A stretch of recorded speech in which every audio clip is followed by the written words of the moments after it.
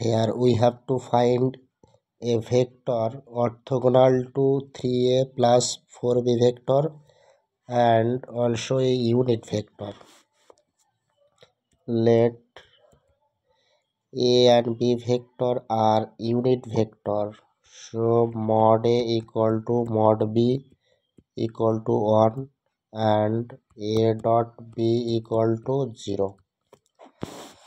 We now check option A.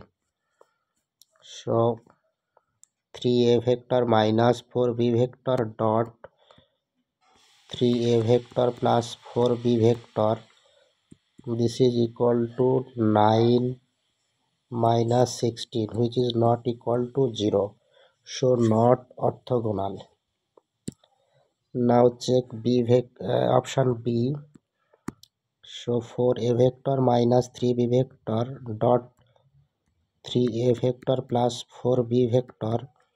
This is equal to 12 minus 12 equal to 0 this is orthogonal. Now we check whether unit vector for a vector minus 3b vector mod is equal to root over of 16 plus 9 this is equal to 5 which is not equal to 1 so b option is not correct. We now check option c. Here 4a vector minus 3b vector by 5 dot 3a vector plus 4b vector. This is equal to 1 by 5 into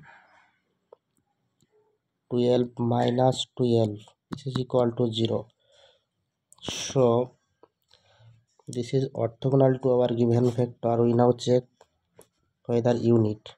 So mod of for a vector minus 3b vector by 5 this is equal to 1 by 5 root over of 16 plus 9 this is equal to 1 so option c is correct option